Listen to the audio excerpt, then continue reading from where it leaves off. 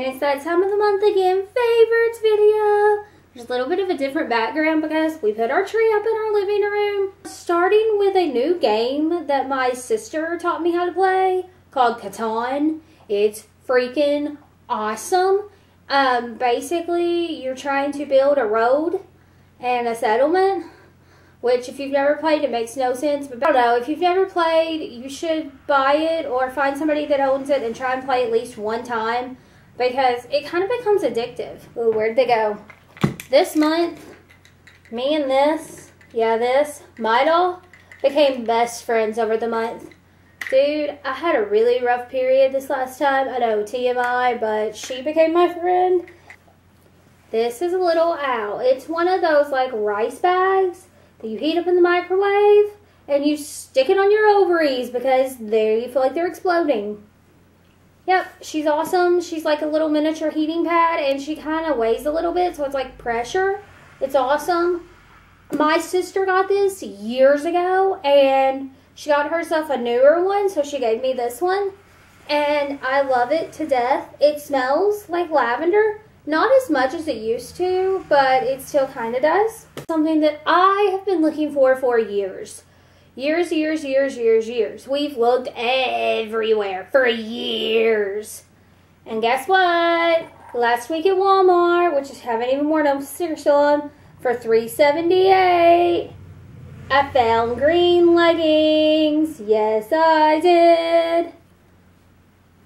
Pretty sure I've never been prouder of myself. These! They're Sperry's, which were popular like, I don't know, what was that, 2011? Something on it. Anyways, they were popular forever ago. I just really got back into them. Um, I wear them all the time unless it's raining because it'll stain them. Cute. I love them. A Christmas hat. It has a bell on it. I'm not actually going to put it on, but I will show you what it would look like if on. Ta-da! I wear it to work every night because uh, we're kind of required to. Work gave it to me, but it's like my favorite thing in the world because that just means Christmas is getting closer. My friends Ryan and Ashley, after trying for 11 years, are finally pregnant. Um, that's exciting. Connor Franta has clothes that are going to be featured in Urban Outfitters starting the 29th. It's going to be in eight Urban Outfitters stores. Could eventually be nationwide. So like my little baby is like venturing out into the real world, so that's cool. Um, if you weren't watching the AMAs, where were you? The show was awesome, but Niall and um, James Bay's performances were the best. They were stripped down, they were raw, they were proof that all you need is like a guitar and your voice and a little bit of music to make something fantastic. It was awesome.